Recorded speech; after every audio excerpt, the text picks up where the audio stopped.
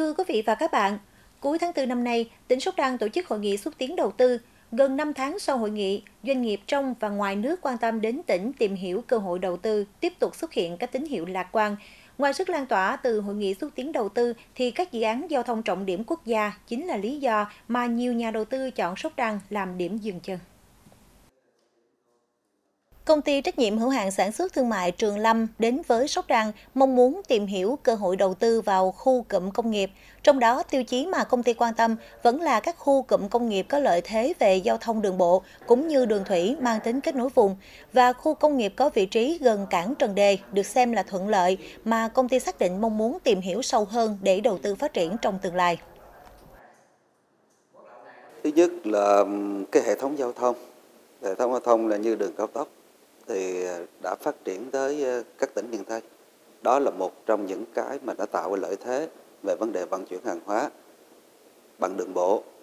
Đường thủy thì ờ, kế cảng Trần Đề, mà cảng Trần Đề thì đó là một cái cảng nước sâu và cái cảng này là là một cái cảng lớn và đồng thời cảng này cũng là một cái cảng trung tâm của toàn bộ khu vực đồng bằng sông Cửu Long để em dùng để vận chuyển hàng hóa không phải ở vùng đồng bằng sông Cửu Long mà còn là, là ở Campuchia.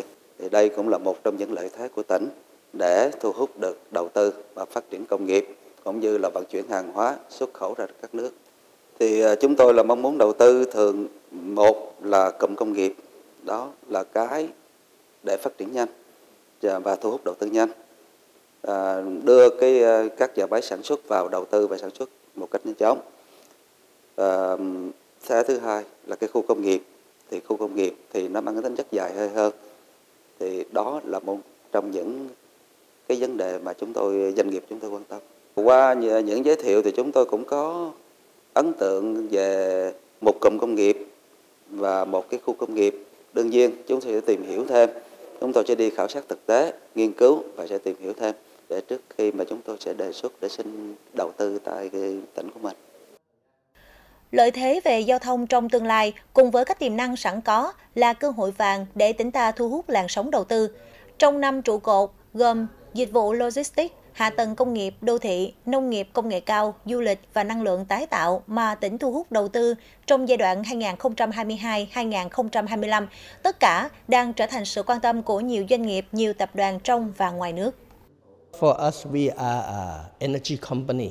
Tập đoàn Super Energy thì thế mạnh nhất của chúng tôi là về uh, năng lượng tái tạo. Tỉnh sẽ phát triển thêm 6.000 MW tại tỉnh. Cho nên nếu có cơ hội trong lĩnh vực điện, chúng tôi sẽ ưu tiên cho lĩnh vực uh, điện năng lượng tái tạo tại tỉnh Sóc Trăng. Uh, ngoài ra, uh, tập đoàn của chúng tôi uh, cũng uh, có những thế mạnh trong những lĩnh vực khác. Ví dụ như là cảng nước sâu uh, và hoặc là khu công nghiệp. Uh, chúng tôi cũng sẽ liên hệ với tỉnh để tìm hiểu chi tiết hơn về những cơ hội này.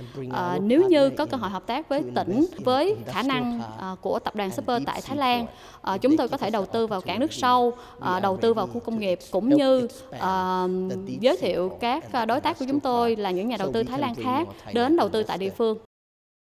Trong 8 tháng qua đã có khoảng 130 lượt doanh nghiệp tập đoàn quan tâm đến tỉnh tìm hiểu cơ hội đầu tư. So với cùng kỳ năm 2021, chịu tác động bởi đại dịch Covid-19, thì con số này tăng 50 lượt nhà đầu tư so với bình quân các năm trước đó, tăng khoảng 30 lượt doanh nghiệp. Qua đó, cho thấy tỉnh ta đang trở thành địa phương mà nhiều nhà đầu tư mong muốn tìm kiếm cơ hội. Tuy nhiên, làm cách nào để giữ chân doanh nghiệp ở lại tỉnh và đầu tư dự án thì đây lại là vấn đề và Sóc Trăng đang giữ chân nhà đầu tư bằng tinh thần trải thảm đỏ mời gọi cùng với sự năng động sáng tạo của chính quyền trong kịp thời tháo gỡ giải quyết các vướng mắc mà doanh nghiệp đối mặt trong quá trình đầu tư. Đề nghị các đồng chí phải thúc đẩy tạo điều kiện tháo gỡ khó khăn cho sản xuất doanh nghiệp, các cái dự án đầu tư.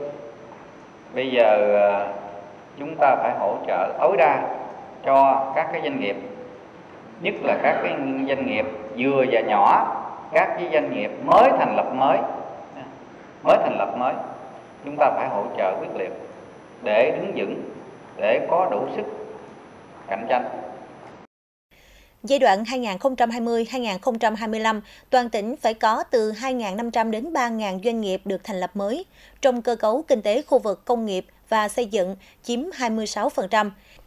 Đây là hai trong những chỉ tiêu và mục tiêu mà Đại hội đại biểu Đảng bộ tỉnh khóa 14, nhiệm kỳ 2020-2025 đề ra. Tỉnh ta đang hiện thực hóa các chỉ tiêu, mục tiêu này và các dự án giao thông trọng điểm quốc gia đang chính là cơ hội vàng để Sóc Trăng bứt phá trong thu hút đầu tư.